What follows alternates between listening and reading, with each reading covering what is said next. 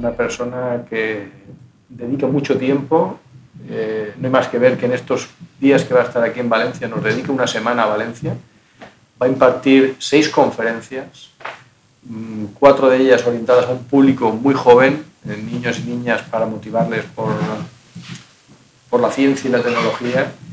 Y eso en una persona de su calidad científico-tecnológica y aparte su, su agenda es muy de agradecer.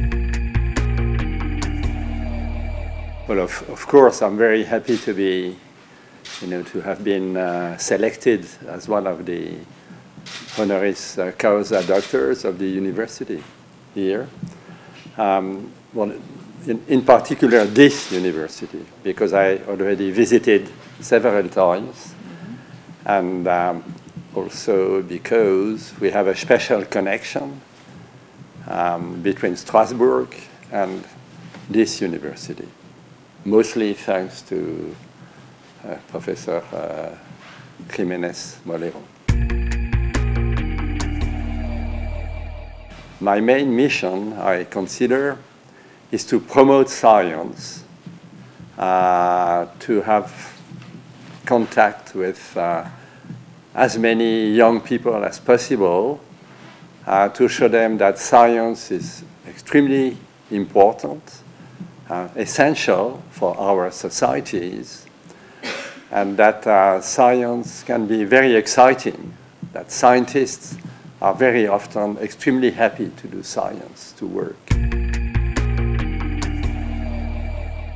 First, let me say that uh, basic science, fundamental science, is at the origin of everything. If you look in your surrounding, if you think of, let's say, medical uh, uh, technologies or uh, computer science, everything at some stage originating from basic science. This being said, it is of course very important to ask ourselves the question which kind of application we may hope for the future or do we already have applications today uh, which could lead to, uh, let's say, commercial uh, applications? There are several fields uh, which are certainly um, very exciting in terms of um, exploration.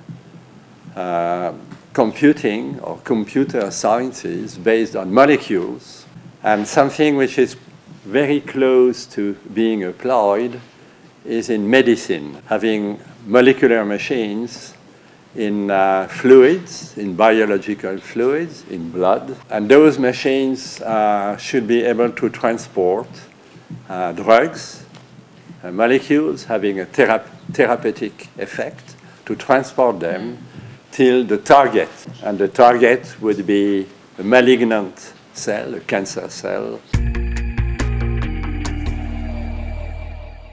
The first one, perhaps, is to enjoy what they are doing. If they do not enjoy, you know, if they are not very happy to do science, I would really advise them to do something else. The second message El segundo mensaje um, is to try and acquire um, a lot of knowledge. Um, so they should try to read uh, many publications to learn, you know, uh, um, very, very seriously um, science in various topics. And the third message is related to the second message. It is to be adventurous. Perhaps instead of working in the same field yeah, for years and years and years, they should not hesitate to jump to some other fields to explore new routes uh, and to start new projects in fields which they do not feel very comfortable in.